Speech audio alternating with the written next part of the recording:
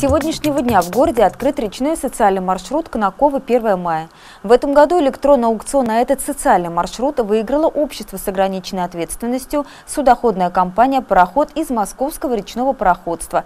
Директор компании Светлана Киселева ответила на вопросы нашего корреспондента Людмилы Кикала. В прошлом году по этому маршруту ходил старый катер «Надежда», про который шутили, что «Надежда» умирает последней. В этом году маршрутов речного такси в поселок 1 мая еще не было, что очень беспокоит жителей как поселка, так и города Конакова. Горожане, у которых дачи в устье реки Сось, давно приходят на берег Волги в надежде увидеть новый катер или хотя бы расписание поездок. Катер из города Долгопрудный, Дружба, 1956 года выпуска типа «Москвич», вместимостью 40 человек. Состояние хорошее, видно, что за судном добросовестно ухаживают.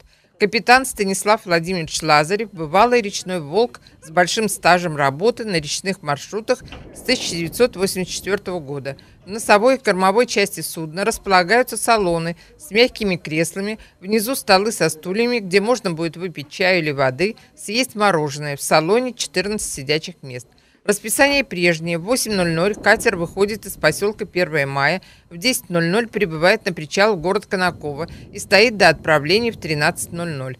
Второй рейс из поселка 1 мая 15.30. В 17.30 катер прибывает в город Конаково. Расписание составили в администрации Конаковского района. Полный билет по установленному тарифу в один конец будет стоить 217 рублей, детский – 108,50. Для пенсионеров, инвалидов и других льготников проезд бесплатный при предъявлении удостоверения. Билеты можно приобрести непосредственно на самом корабле. Вокруг совершенно волшебные места, поэтому я очень рада, что как-то вот судьба нас сюда занесла вот таким вот образом, что работать мы будем здесь. Я надеюсь, что у нас как-то все заладится и что это не последний год. Судно прошло освидетельствование Российским регистром судоходства, оснащено системой ГЛОНАСС двумя радиостанциями.